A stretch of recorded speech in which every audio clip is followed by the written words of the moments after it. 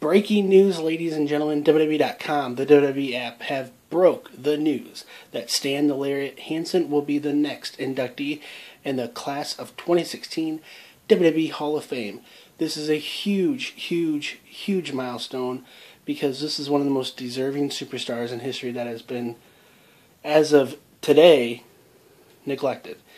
But now we can say this is one of the most legitimate classes in history, as Stan the Lariat Hansen will be inducted April 2nd, 2016. He had a huge career overseas. Uh, he he excelled at All Japan and New Japan, going back and forth, being one of the top gaijin or foreign wrestlers. Uh, they use that term predominantly for Americans, but um, he exemplified what it's like to be a tough, hard nosed wrestler.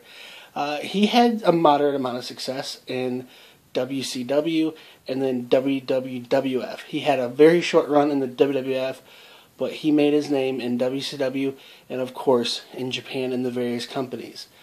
Uh, his nickname speaks for itself, the Lariat, aka the clothesline from hell. Bradshaw definitely got a lot of his character from Stan the Lariat Hansen one of the most legitimate tough guys in history. He could also ki- cut a killer promo that you wouldn't believe, drenched in tobacco juice. This guy could make you believe that he was going to kick your butt, and he could deliver it.